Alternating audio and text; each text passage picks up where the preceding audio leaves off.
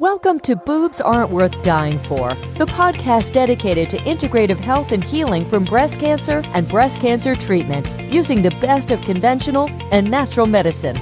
Your host, Deborah Beaumont, is an advanced practice nurse, functional medicine practitioner, and fellow breast cancer survivor.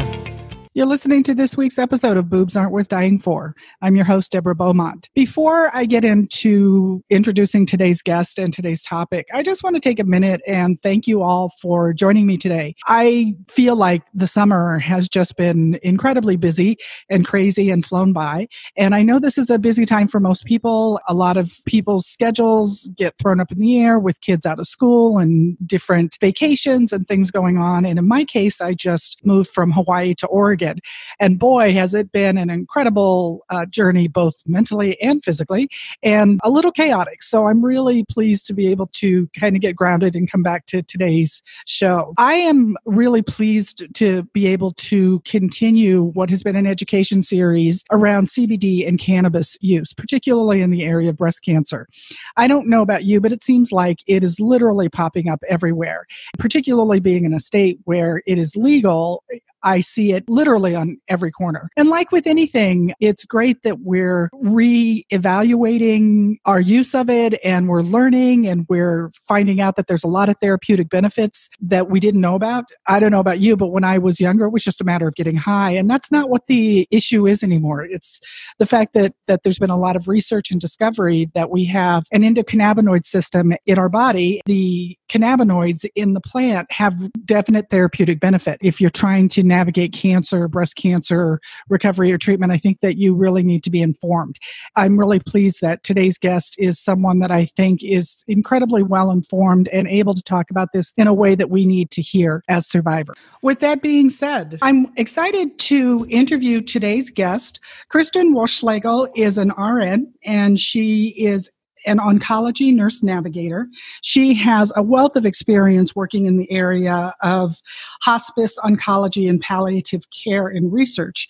She has a special interest in the use of medicinal cannabis, both for symptom control and active treatment of chronic disease. And I've invited her here today to really talk about clinical application of CBD, particularly in breast cancer, and some of the things that we need to know about before we decide that this is something we want to go out and do because it's very popular. So, Kristin, thank you for joining us. Oh, thank you, Deb, for allowing me to join you. I'm very happy that I'm able to share information that might be helpful to women with breast cancer and perhaps others in their family. Definitely. I'm really pleased that you can join us because, as um, my listeners know, I'm just very aware of the fact that this is a popular topic CBD and cannabis. It seems like it's being promoted as a treatment and a cure for everything. But as you and I have talked, I know there are some very specific things to be aware of when it comes to breast cancer. And I think that you speak about that very well. And I know that you're doing a couple of conferences this summer where you're either presenting posters or a speaker. So I'm really pleased you could make time for us. Thank you. And I'll just mention that um, I'm very happy to have been invited to present information about my nurse's experience working with patients with cancer who are also using cannabis.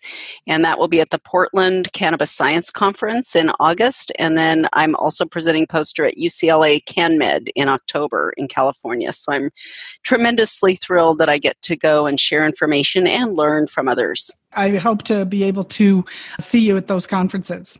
So, Thank you. Um, let's just jump right in and uh, talk about the whole area of CBD and cannabis in breast cancer treatment, which I read a lot about and it's become very popular. What are some of the trends that you're seeing? I, I know that you've spoken to me about what took you into this area, but what are some of the trends and perhaps even some of the concerns that you see in the area of breast cancer treatment? Sure. Well, when two years ago, I was first confronted with a patient who had cancer, was in hospice, and we were struggling to get this lady's symptoms controlled with conventional means. One week I showed up, and this lady had a little bottle of a cannabis tincture that she was swallowing, and she told me it gave her more relief than all the pills and fentanyl patches and everything we were bringing. And all it said was CBD and THC on it. And she was very protective of it, and I respected her right to use it I wanted to check for drug interaction information, and I was horrified to learn that when I went online, there was nothing. There was nothing that would help me. There were no books warning about drug interactions with this or that. And so, my first concern was that people were beginning to swallow these materials, and there wasn't any medical professional helping them sort out potential drug interactions. And now I look back and realize that all of the data was really around people taking a few puffs now and then to deal with side effects of cancer or cancer treatments. And no one was really looking at this because no one realized patients were going to swallow these things along with their cancer treatments or their heavy pain medicines or cholesterol medicines or whatever. And so I really became on high alert because I know that some of the drugs that cancer patients are swallowing, or just someone with diabetes or heart disease might be swallowing, could have serious interactions. And so I began researching and immediately became alarmed because I could see that CBD oil, when swallowed, has some potential to inhibit um, the clearance of some medicines from the blood if it takes if it's taken together. And nobody was talking about this. Patients might tell their doctor they wanted to use medicinal cannabis. The doctor may be open to it and tell them it was fine, but the conversation stopped there. And so a patient who might be on some oral or by mouth pills that are actually considered a chemotherapy or a special hormonal treatment. They were swallowing that at the same time as taking their CBD oil, and there were some serious concerns that either it could make the drug last longer and be stronger in their blood by slowing how quickly it could get cleared by the liver, or such as the case with tamoxifen, there was a real concern that this drug that's a prodrug, meaning the active form is only formed after it gets processed by the liver, that that might be inhibited by CBD oil. And this is a widespread use. People are using this because it helps their symptoms of anxiety, nausea, pain, you know, all of this. Um, inflammatory conditions so many, many cancer patients are using this without anybody helping them check for drug interactions. And I've seen disasters happen, but they're rare. But I am concerned about that. So that became my focus, as well as just working with now over a thousand patients with cancer who shared their data, shared their drug interaction or their drug information, talked to me about bad reactions they had with certain drugs or wonderful experiences using CBD oil along with chemotherapy of this type, this type, this type. But it really rose to the top of my priorities because I realized this is a gap. This is one of the reasons doctors are afraid to recommend cannabis. They don't know this and they know it's an important thing to consider. That was the gist of it. I have seen tremendous relief from side effects of both cancer and cancer treatments. I have seen amazing things that are not the focus of our talk today, but you know, it seems to have some synergy or increased effectiveness with certain things. But again, the drug interaction risk was great. And then there's some other aspects of cannabis, such as the high dose THC Rick Simpson protocols that float around on the internet that are really problematic for more than half of the women with breast cancer. Yes, that's one of the things that I wanted to talk to you about. This is a really important thing to bring up. This is the third podcast in a series I've done around CBD. The other two podcasts that I did, we talked a little bit about the endocannabinoid system. Just for the information of, of our listeners, it's been my experience that in the last couple of years, there's been a renewed resurgence of an understanding of the fact that our bodies have what are called endocannabinoid receptors that bind with CBD and THC, as well as other cannabinoids, but those are the two that are used mainly. With that new understanding, they are finding that it's treating a lot of chronic symptoms and illnesses that have not been responsive to other treatments, which is great. Except, like with anything, people are like, oh, well, a little bit is good, so more is better. I think that, as you talked about, there are some very specific things with the medications and treatments that we're dealing with in breast cancer that we just need to be mindful of. The irony is, is that many of the side effects of, like, say, tamoxifen, the pain, the um, memory issues, those kind of things are the very things that CBD oil actually helps with. But we need to be aware of that drug interaction, like you talked about. So I'm wondering if you could talk a little bit more specifically about tamoxifen, since that is so commonly used in hormone positive cancers. I'd be happy to. It's been fascinating. And if there was ever a case where I wish doctors were learning about the cannabinoid system that people have, this is it. So, all of our cells have the potential to express cannabinoid receptors, especially numbers 1 and 2, CB1, CB2. These are just like if you picture little satellite dishes that stick up sometimes from a cell surface. Otherwise, they're retracted or down within the cell membrane and they're not exposed to chemicals. Our brain cells have both CB1 and CB2 receptors on them. CB1 receptors are all about nerve conduction, neurosignaling, mood enhancement or otherwise, appetite suppression or stimulation.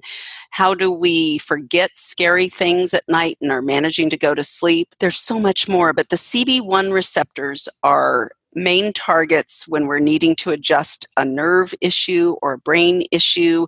And that's where we see side effects of drugs like tamoxifen because we just recently learned 2013 2015 in laboratory work that tamoxifen binds in kind of a bad way to this receptor and it may be contributing to mood difficulties, anxiety. Um, some women describe it as a rage that they got divorced or lost their job or wrecked their car because when they started tamoxifen, they had this really bad anxiety and depression. Some women have gotten locked up on three day holds for psychiatric um, evaluation because they told their doctor they were suicidal. Wow. And these were women who were on tamoxifen and they were being told they just needed to toughen up, that it's just hormonal, and if they want to live, they have to take it. Right. And the concern is that number one, doctors don't understand the endocannabinoid system first. So they don't understand why the new information that tamoxifen may be binding in human bodies in this way, especially the brain, could be linked to the cognitive changes then there's another receptor called CB2, which is used by cells to um, control inflammation, for example. Some of the tamoxifen side effects can definitely be linked to the estrogen actions that tamoxifen does. There is CB2 receptors on any cells that are needing inflammation control. And when the inflammation has done its job, whether that's fighting an infection or an injury, the cannabinoid receptor number two is often activated or expressed, triggering the body to use that to turn off the inflammation when the benefits are done. And tamoxifen binds in such a way that it may be interfering with that. So now we have possible mood effects, possible sleep problems because of it. We might be dealing with some serious psychiatric challenges that I think women should be aware could be a drug side effect that they need to tell their doctor about versus just menopausal symptoms like they get lumped into. But the inflammation could be something like why do we get so many cataracts with tamoxifen use? Why do we have what we call cognitive decline or executive cognitive function impairment, which means our ability to decide what we're going to do today, how we're going to answer a question, how we're going to balance our finances or do our high powered job. Maybe we're a surgeon, maybe we're a truck driver, and we start having trouble with that. We feel like we're forgetful, we're losing our mind, we're just not able to think clearly. This is sometimes being linked to neuroinflammation. Now, again, cannabinoid receptors are very involved in controlling inflammation throughout our entire body and brain and eyes and colon. I mean, it goes all through our body. Hmm. Tamoxifen is an unusual drug, and I actually now tell doctors when they say oh, they're not interested in, in prescribing cannabis. I said, Well, do you ever prescribe tamoxifen? And they look at me funny. They go, Of course I do.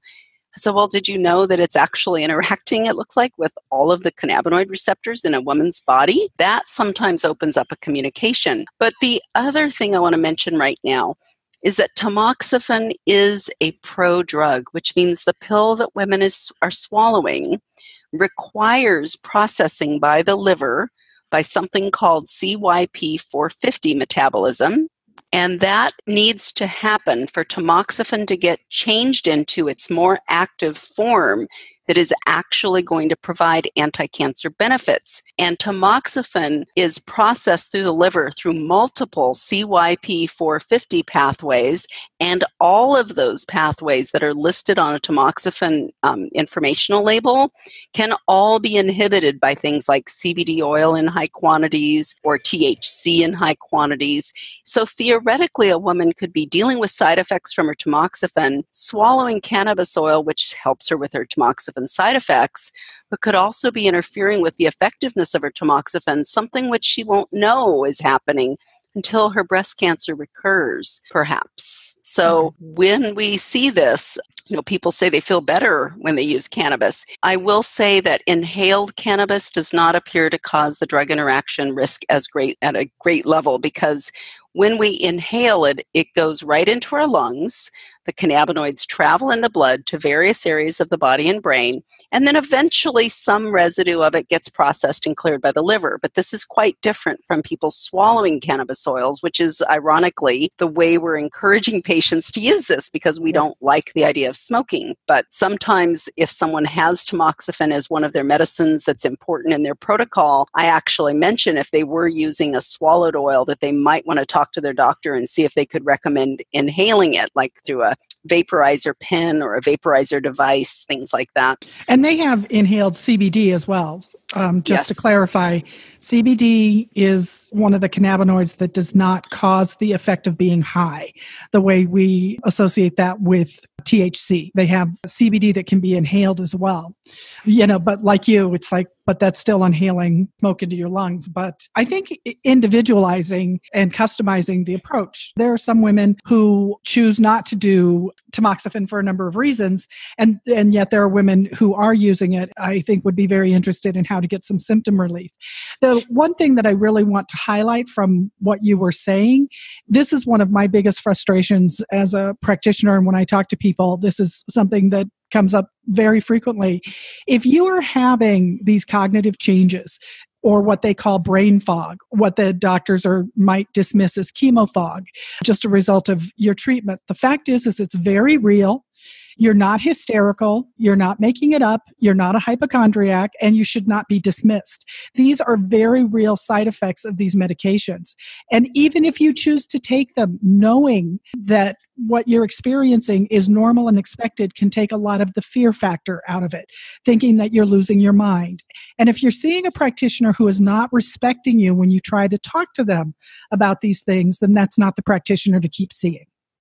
That's excellent advice because one of the things I noticed was women in support groups would talk about these side effects and symptoms.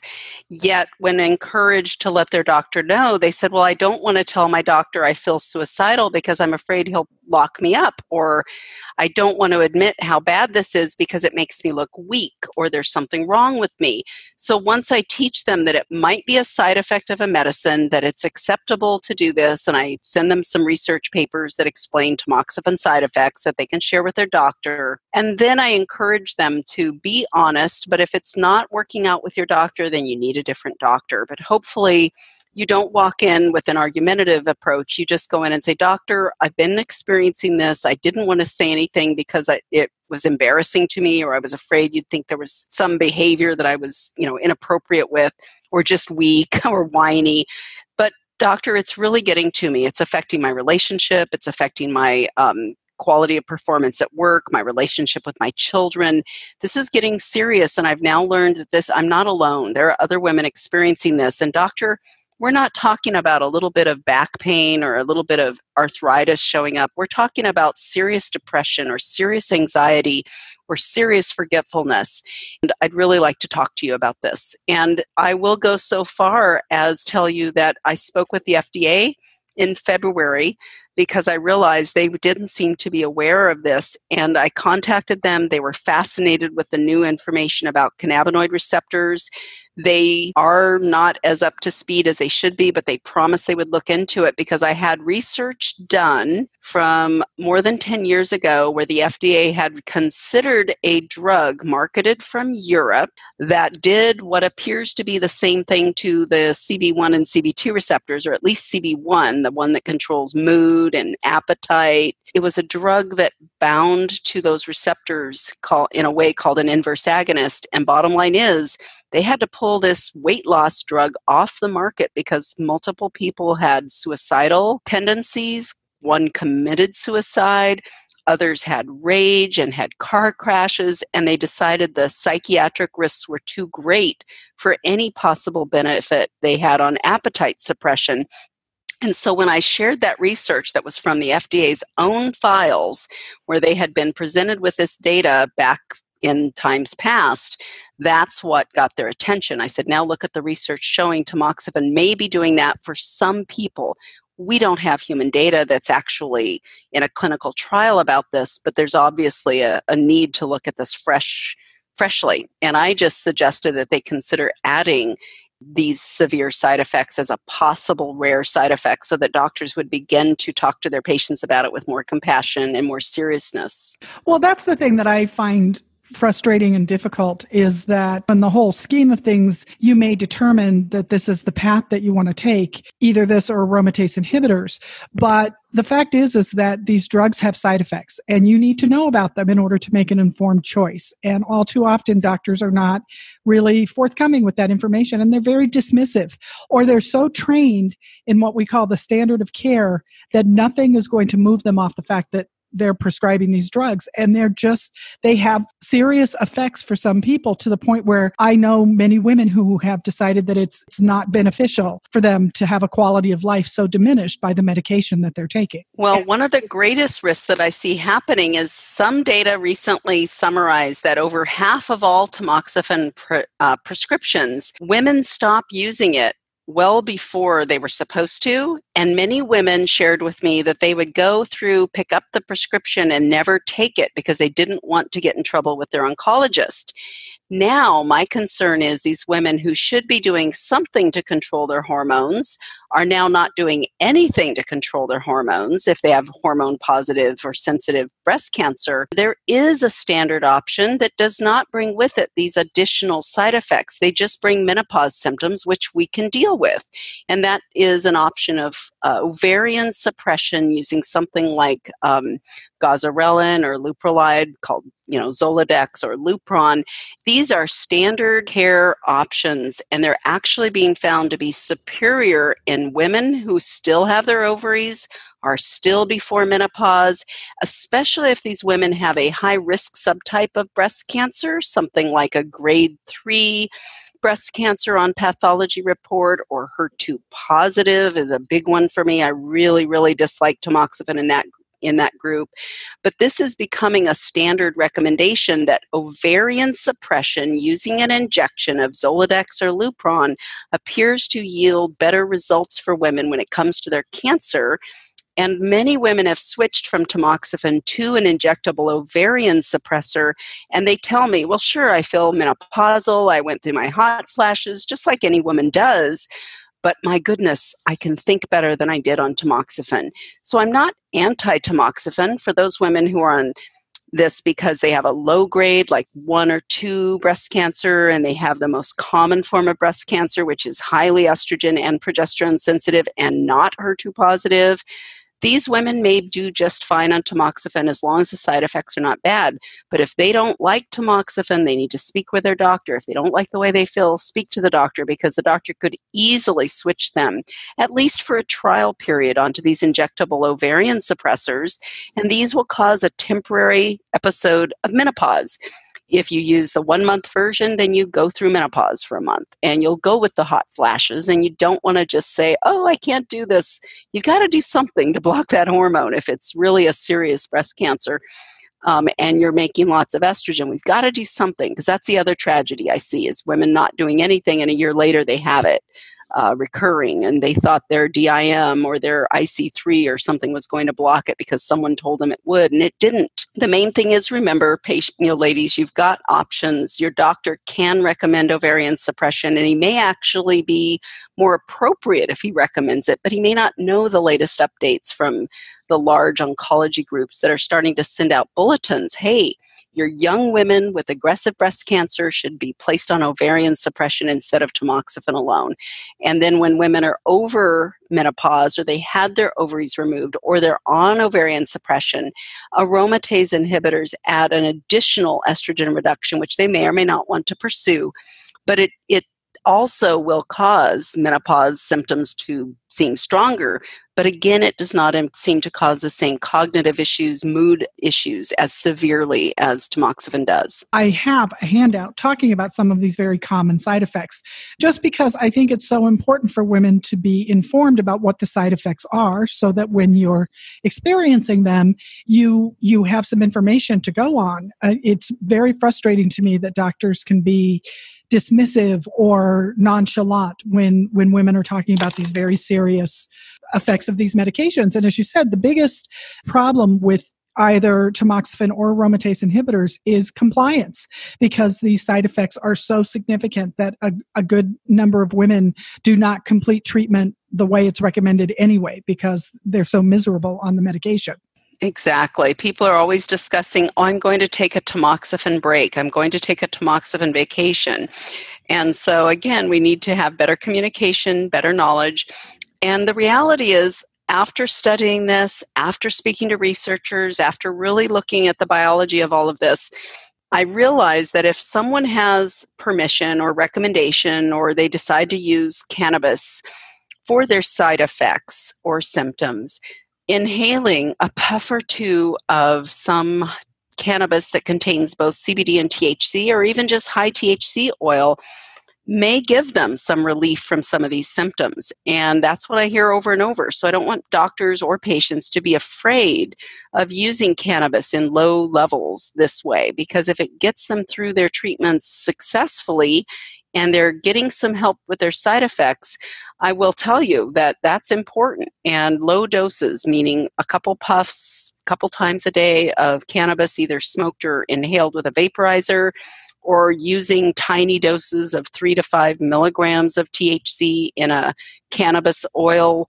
will probably do quite a bit to help them with some of their arthritis pain, anxiety, insomnia, and the important thing is just to remember, especially if they're swallowing it, this in high amounts, meaning more than 75 milligrams of CBD per day, um, possibly more than that of THC, which is a really large amount of THC and yeah. unlikely to be used. But I'm encountering this over and over. I talked to a 70 year old lady last night who's taking 125 milligrams of THC per day and didn't know that was a large dose because she built up over a couple of months and someone told her that was a good idea. And so now she's tapering down because she was having some really bad reactions to an antidepressant drug. And I showed her the research. She was a retired nurse. And suddenly she realized this could be causing a side effect from her anti anxiety medicine. Every time I do this, I come away thinking, gosh, I'm glad we talked about that. So, again, little doses of cannabis, little doses swallowed, not appearing to be a problem. It's when they start using more than 75 milligrams of CBD a day that I've been witnessing some of these interactions develop on blood tests where we can see the effects or they have symptoms that match um, what might be side effects of a drug that also warned against use with things like grapefruit because CBD inhibits the same pathways as grapefruit juice can. So I mentioned the grapefruit um, when checking for interactions on your drugs. But there are other interactions that really need to have a discussion with your doctor, your nurse practitioner, your pharmacist. And those interactions can be um, looked at by your pharmacist or nurse practitioner or doctor by telling them that CBD could inhibit CYP 2D6, also CYP2C19, as well as CYP3A4. Now, these are three pathways that a lot of medicines get processed through, especially CYP2D6. We see a lot of drugs that get processed through that pathway in the liver. CYP3A4 is the biggie. That's your cholesterol pill, your blood pressure pill, your Ibrance uh, oral chemotherapy drug. Uh, tamoxifen gets processed by several of those pathways. So the CBD oil in large amounts could inhibit all of those pathways. And if you're writing this down, then write one more thing down.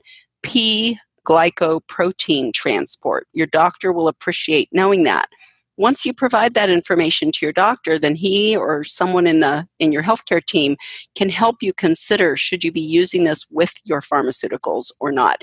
In the case of some medicines it might mean the doctor has to reduce the dose down if you're really getting some benefits from your cbd but that requires a conversation, and a lot of people are afraid to do that. But I encourage open communication. Unfortunately, a lot of doctors aren't going to have this information. They're still operating on some old ideas about cannabis and pot. Not every doctor is going to be informed in this area, so that's that's why it's good to be able to consult people like you or people who are clinicians in the field, get some clarity around this. Even the doctors. I mean, if you go to your doctor and they don't know anything about this, you know, they may need to actually do some work instead of just dismissing this as a treatment option.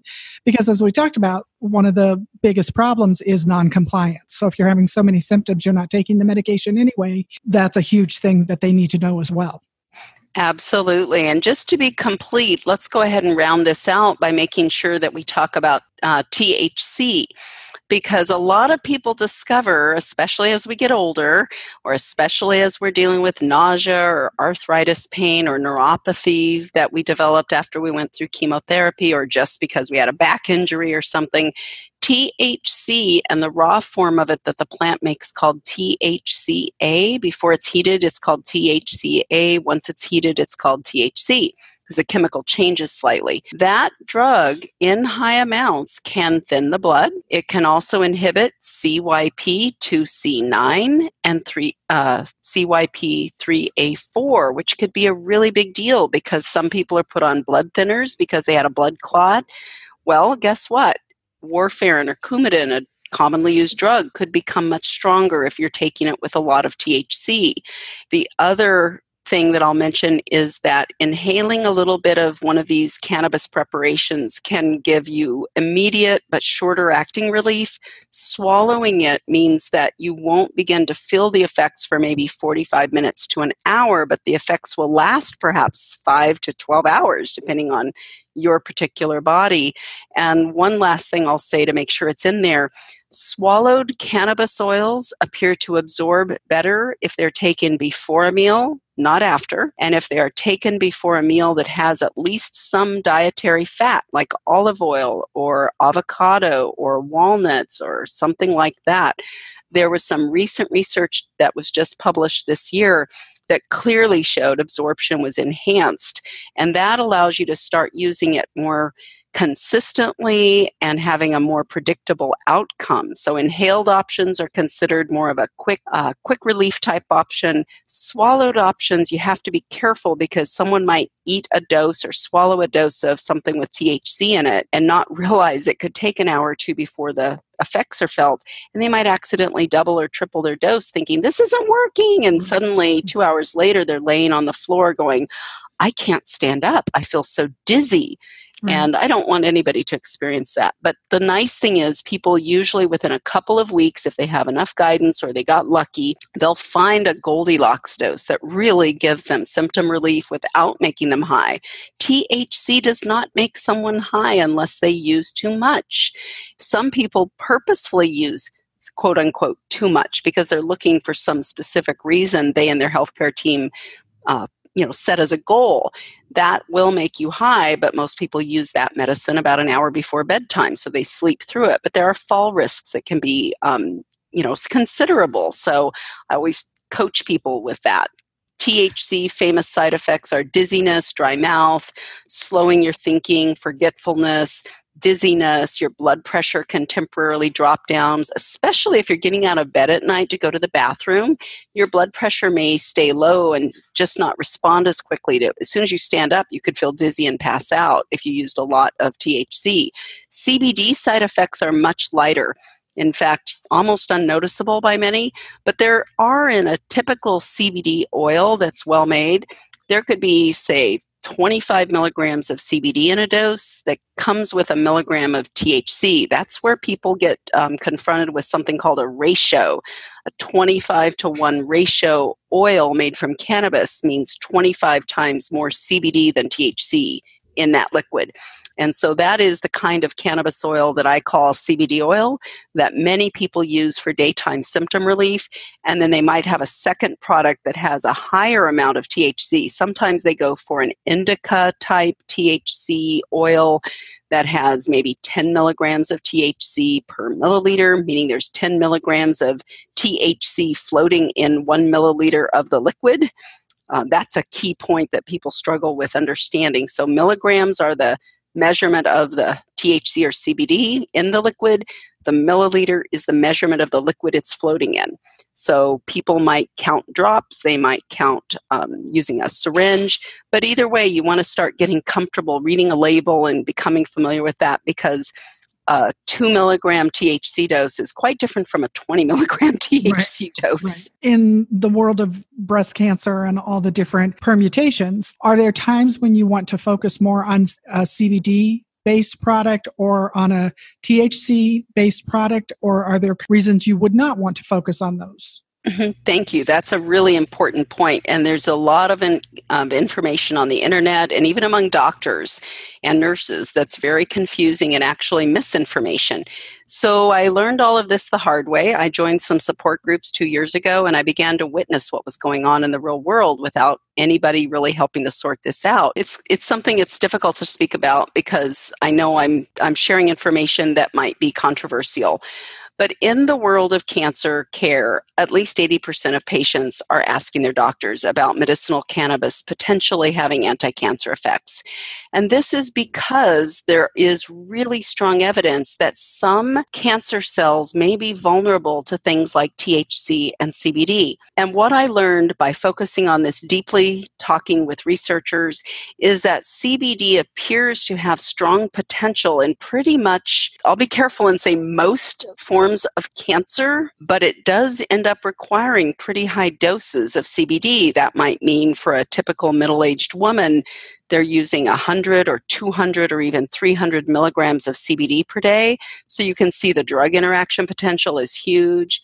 Then we have THC that really needs some careful consideration because I use THC by mouth every night before I go to sleep because I have rheumatoid arthritis, I have autoimmune uh, disease, lots of inflammation. My immune system misbehaves, and I have a bad back, I've had spinal surgery, and I have nerve spasms that really were causing me insomnia and nightmarish um, problems at night. I use 30 milligrams of THC swallowed at night because my doctor and I watched my blood work and found that my autoimmune disease markers came down. My helper T cell numbers came down when I used that dose week after week. My overall wellness improved. However, I was actually suppressing an aspect of my immune system when I did this. And these helper T cells, that THC especially, will be potent, potently acting on to actually influence my immune system to not create so many helper T cells also means that if I had breast cancer that was not vulnerable to THC, that I would be allowing for faster tumor growth if I continued to use 30, 40, 50, or more milligrams of THC per day. Now, why is this a big deal with breast cancer? Well, women with breast cancer who have the most common form of breast cancer that is considered estrogen sensitive, progesterone sensitive, and with zero HER2 activity were also the women's women who have a type of cancer that researchers believe is least likely to have good targets for THC if we're thinking about an anti cancer potential. And the scientists who wrote these papers always put a warning that not all cancer cells will be vulnerable or equally vulnerable to THC. And you may find that one researcher did research on a hormone sensitive breast cancer cell line in a dish, and when they dribbled THC on it, it worked. It killed those tumor cells. Well, remember, breast cancer is not one disease. You can have some cells that might be sensitive to THC and others that aren't. And this is complicated. And over and over, when I joined the support groups, I found many women were being told by you know well-meaning individuals that hey this worked on my lung cancer why don't you do this high dose thc protocol which could be 500 or 600 milligrams of thc a day wow. and they would painstakingly suffer through adjusting and increasing this dose and suddenly just yesterday someone joined and i happened to be in one of the groups reading and this lady said, Oh, my tumor markers, which had been stable for six months, suddenly doubled this month. And of course, you know, I asked her her pathology details. She had estrogen positive, progesterone positive, HER2 negative breast cancer. And here we go. Her tumor markers jumped. Thankfully, she was in the group. She had just joined, and all these women had messaged me saying, Kristin, can you help this lady? Because they know I'll jump in and try to help give good advice if possible. Um, on the other hand, we had women when I joined that support group um, last year who literally were stage four with cancer in their bones and they were using this and being told to use more and more and more by well meaning individuals and bones were breaking. I mean, mm-hmm. this is really serious. And this applies the same caution around THC and immunosuppression applies to the raw form of THC called THCA. And that is becoming very popular because that can be accessed by um, juicing cannabis leaves or flowers, or you can buy tinctures made with this. And it's a lovely help for anti nausea purpose, anti anxiety, bone pain, neuropathy pain, insomnia pain, anxiety, but it also is easy to take a lot of it because people don't get so high from it and they'll end up using two, three, four times as much. And two women who had been already cautious about THC because they had tumors grow faster when they tried Rick Simpson protocol. They were using a couple hundred milligrams of THC a day, and within six weeks, they could see their tumors growing. And one woman had a, a scan done, and there was a 40% increase in under two months. And as soon as she stopped using THC, the tumor slowed down and she went to just a high CBD dosing that she worked out with her doctor, and her tumor started shrinking. And later, her tumor started growing again. And when I privately talked with her, she had started using THCA. She thought it was like free calories. You can just use as much as you want. And gosh, I feel better. But then her tumors were growing again. And again, we backed down. So, anybody who tells you differently, please know that I'm not saying this recklessly. I'm doing this because I know that we need to talk about it. And the last thing about um, this is we're going to see a lot of immunotherapies in clinical trials for breast cancer, especially forms like triple negative breast cancer, coming soon to someplace near you. And immunotherapies are being used to try to allow a woman's body to actually ramp up their helper T cell production so they can attack tumors and they're trying to inhibit some chemical the tumor secreted that otherwise made the helper T cells not able to kill the tumor. So if they're on a, an immunotherapy drug, and a couple names of those are um, nivolumab, pembrolizumab, some of these are called Keytruda these drugs really should not be used with high dose THC unless you really have a purpose with your doctor and they understand this might interfere with those helper T cells they're hoping will get busy and start attacking the cancer. And I know I'm talking a lot, but I really think it's important to make sure before our time ends that there is a new pill form of uh, targeted therapy, they call it. It's called Ibrance. Right. Kisqali. Kisqali's another one, abemaciclib. These are really important medicines for thousands and thousands of women who are surviving with breast cancer that has metastasized or has become uh, treatment resistant in other ways. And some are now being put on it early. And these drugs have side effects on the liver and they also can um, knock down certain blood cells. And so, women on these drugs are routinely getting blood tests and being told, "Oh, hold your dose this week because your neutrophil count dropped down." That's a kind of white blood cell that fights infection. And they all have warnings on the label to not take with grapefruit. And I have witnessed drug interactions where women became dangerously ill using these and CBD oil in large quantities and I'm very concerned about that because doctors will routinely push the envelope. They'll put the women on the highest dose of this drug that they can tolerate without knocking out their uh, blood cells or um, causing their liver blood tests to go abnormal. And then a woman gets a bottle of CBD oil given to her or purchased, and she starts using it for weeks until she gets her next blood test, and suddenly disaster strikes. And I just want to heighten awareness that CBD oil with these drugs can be safely managed if the doctor knows you're taking it and understands this. They can reduce the Ibrance dose if they want to down to what the the prescriber um, recommends. They always say that if someone must use something that could inhibit CYP3A4, then the doctor might choose to start their Ibrance dose at a lower level. So, good communication is important and caution is really reasonable here. Krista, you just have so much amazing information, and I definitely want to have you back to really explore this in more detail. But uh, this is one thing that I really wanted to at least touch on because I've been reading. It's all. It's not all created equal, but unfortunately, with the popular upswing of CBD and THC, it's it's easy for people to think it's a panacea for everything, and there isn't anything that's a panacea for everything. And I think a lot of these things are things that we need to really be aware of. You know, and as I mentioned, not all doctors are into studying this. So that's why there are those of us who are interested in delving into it more specifically in this area of breast cancer. And you brought up a really good point, even separate from other cancers. there are specific characteristics of breast cancer that we need to be mindful of. So even though it may be helpful for another form of cancer, it it just doesn't necessarily transfer over because as you said there's there's so many things going on in a breast cancer diagnosis. It's not just one disease process. Many many things that we need to be focusing on. So i thank you so much for this. If people want to find out more information how can they contact you Sure. The most dependable way to contact me is by emailing me, actually, because I'm a one woman show when it comes to answering contact requests. And my email that is really just focused on this is um, Kristin, K R I S T I N, at nursekristin.com. And I do have a very, very basic website where I basically just have my photo and my contact information at nursekristin.com, or I have a Facebook page that's titled Nurse Kristin, K R I S T I N. Thank you, Deb. Oh, thank you. And this has been so helpful.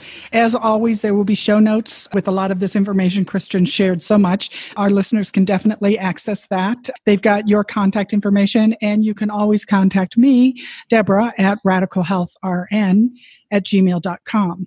So thank you for joining us today. This has been great. There's so much more to talk about, but I really hope this is giving you some key pearls of information to either help you figure out if you want to look at this or if you are in the process of using this to augment your own treatment, give you some ideas of things you might want to be aware of to talk to your practitioners about. One of the things I definitely like to just do another whole show on is really some of these drug side effects that you talk about because it does affect so many other drugs that people are taking. And um, I'd love to have you back to discuss that in more detail. Thank you, Deb. I really look forward to it. I really appreciate this opportunity to share information, and I look forward to, um, you know, the next opportunity. Great. Thank you so much. To our listeners, thank you for joining us. Please reach out to Kristin or myself with questions or comments. Until next week, take care. You can always reach me at my email, which is radicalhealthrn at gmail.com. And you can also find me through my website, which is www.mindbodynutritionrn.com. There you can find show notes that will have a lot of the information we talked about today. You can also find a free e guide that I've written that talks about tamoxifen and aromatase inhibitors and some of the normal and expected side effects of those medications. You can also schedule a complimentary consult if you're interested in looking at approaching your own recovery with an integrative and functional medicine approach. I actually work with women by phone and by video across the country. I actually have some clients in other countries. So I do provide coaching and consulting to women who are interested in incorporating this in their treatment plan. And if you have any questions, please drop me a line. Until next week, take care and enjoy this last month of summer. Talk to you soon. Thanks for listening. If you have questions or feedback, you can reach Deborah at radicalhealthrn at gmail.com or her website, www.mindbodynutritionrn.com. You can also find us on Facebook under Boobs Aren't Worth Dying For. For future episodes, subscribe on iTunes, where you can also leave positive reviews. Until next time.